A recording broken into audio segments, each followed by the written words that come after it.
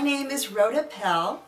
I'm the actress who plays Betty, a sweet little widow lady in a charming film called The List. Hi, Rhoda. Hi, Rick. Here's our director, Rick L. Baker, and he can tell you more about the film and how to support it. Who are you it. talking to?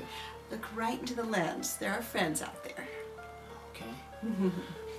Hi, I'm Rick L. Baker, writer and director of The List.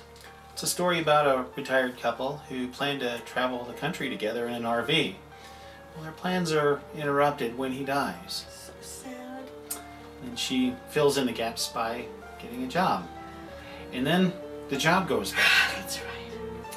So as it turns out, they get to travel the, the country together after all. Not the way you think, though. so now, Rick, tell them how they can get our film shown, because it takes money. Okay. Well, we've created different uh, levels of participation with gifts. So please help if you can. And by all means, spread the word. And thank you for stopping by. Bye bye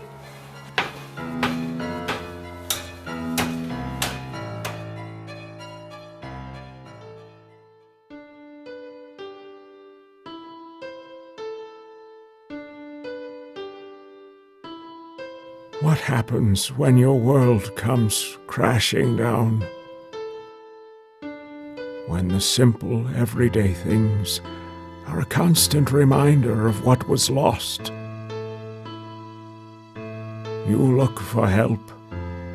You look for some way to make it through the next day. Have you thought about a part time job is an option? When that reason is found, it fills your heart with happiness. You almost forget the loneliness that used to fill your days.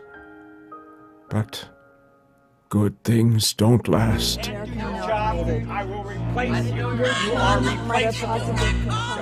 Your job well. Now performances begins cancer dies. Stop it up! What time it is? Betty, I'm sorry. I'm gonna have to let you go.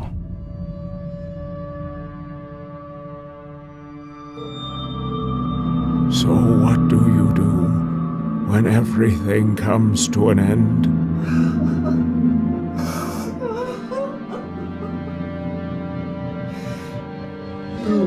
Get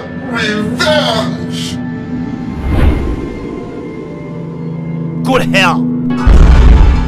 Nobody talks to my honeybee like that.